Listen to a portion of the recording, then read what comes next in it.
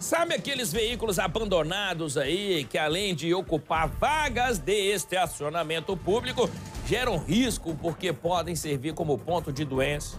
Como a dengue, inclusive, e ainda como depósito de drogas, o Detran deve acabar com esse problema, né, Nick? É, o Detran tá de olho, tá? Essa é a Operação Vaga Livre e o objetivo é esse, viu, Fred? Liberar as vagas de estacionamento estão sob uso privado, ó, às vezes há mais de anos lá parado o carro.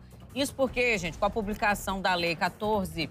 É, 14.440 de 2022, que inclui o artigo 279A no Código de Trânsito Brasileiro, o Detran ele pode remover carros que estejam em estado de abandono, tá? E a população pode ajudar fazendo o seguinte: mapeando, né, ajudando aí no monitoramento dos locais, informando sobre veículos abandonados por meio da ouvidoria. Então preste atenção. Tem um carro aí abandonado há muito tempo na sua quadra, no estacionamento, aí você está ali precisando de uma vaga, não acha, às vezes tem que parar bem longe aí de onde você mora, por conta desses carros que estão ocupando ali, faz o seguinte, 162 ou pelo formulário eletrônico, esse formulário ele está disponível no site da autarquia do Detran. Então, lá no site do Detran, você pode fazer ali, ó, relatar o modelo do veículo, o endereço certinho, a placa do carro, porque agora essa operação vai remover. Ontem nós mostramos aqui um caso de um incêndio que aconteceu é, na, na Asa Norte, de um carro que estava ali abandonado já há muito tempo, ninguém sabe a causa do incêndio. Vai que estava incomodando alguém ali, o pessoal precisando da vaga, resolver.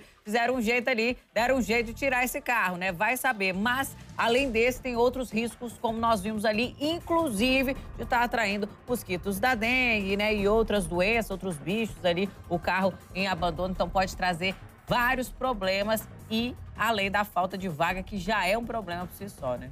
Tá certo, Nick. Obrigado pelas informações. Valeu mesmo, viu? Vamos nessa, gente. É